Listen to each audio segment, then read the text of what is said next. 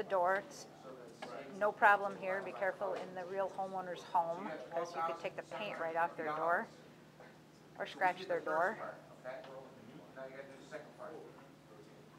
Couple of power cords. One of the power cords goes from the manometer directly to the blower, and the other goes into a wall outlet.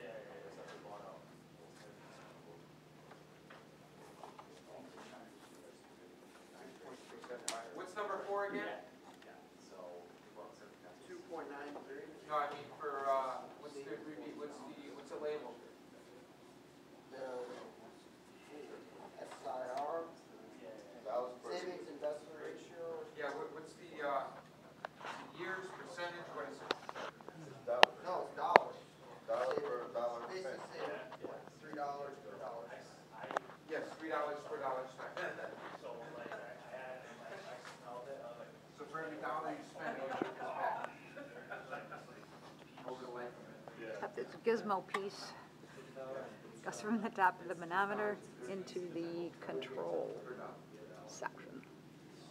We'll take a close-up of that in a sec. That's the only choice right there, isn't it? Yeah. Okay, that's good to know. There's only one place to connect that.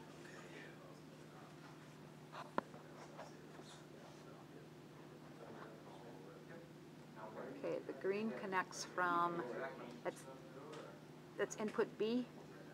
Is that where that goes, Tom? That goes to the machine. Input Fresh B on air the comes manometer to A.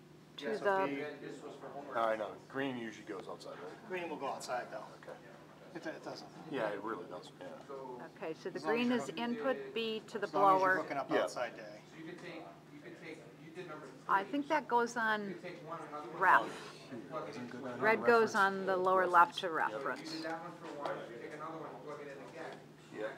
Yep, so red from the outside goes Outside to goes on Outside would be reference. reference, A reference, and the green is B input to the blower. Turn the manometer on, We're gonna hit baseline. yep, Then you got each one, right? and Well, they're it's- asking you for here. start, I think start, I get the sheet. is gonna be your first. yeah, I get the sheet.